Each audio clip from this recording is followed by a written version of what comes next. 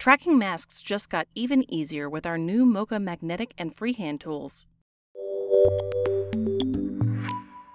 I will show you how to quickly trace or draw around objects in the Pixel Chooser filter. But these roto techniques will work in any continuum filter that contains the Pixel Chooser with Mocha.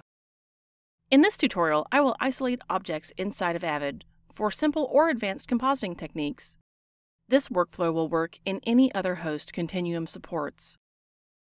First, I apply the Pixel Chooser filter, set the output to alpha, set the channel to alpha under Pixel Chooser Matte, and launch Mocha under the Pixel Chooser Options Mocha Mask track.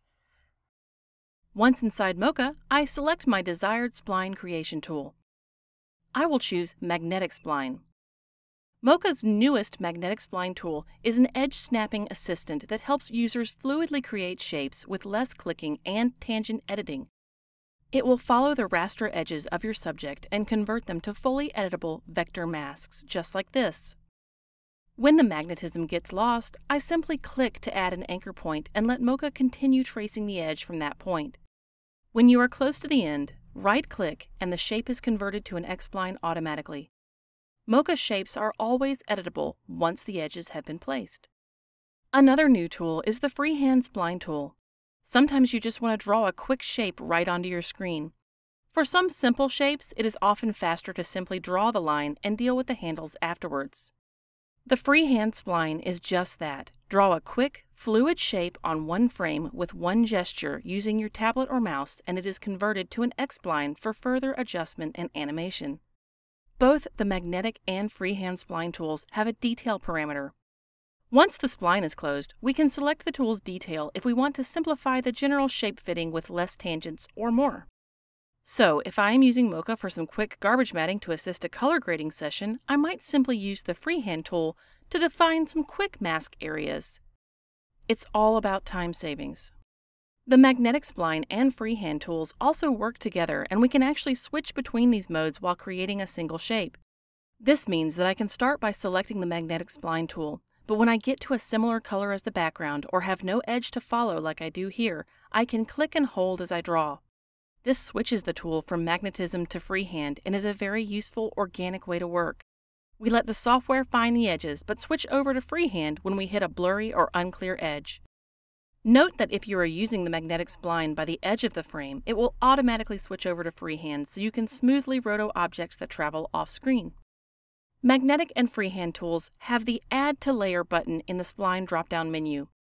We use this when we want to subtract or add shapes to the same layer. Where the shapes overlap, they subtract, and where the shapes are side by side, they add.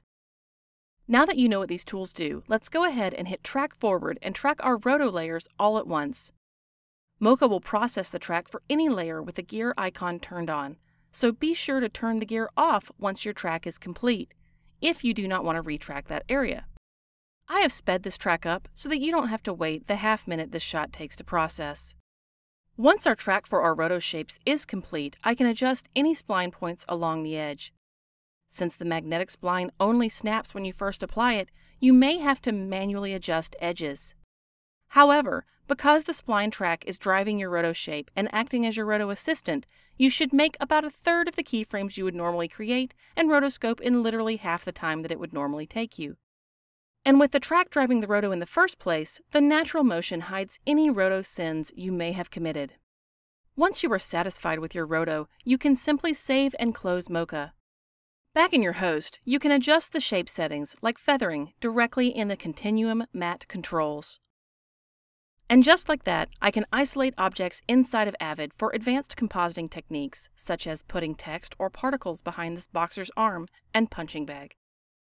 Being able to quickly create roto shapes inside of Avid is a welcome feature in the Continuum toolset and can be used for all sorts of editing tasks, like color correction, witness protection, beauty work, and more.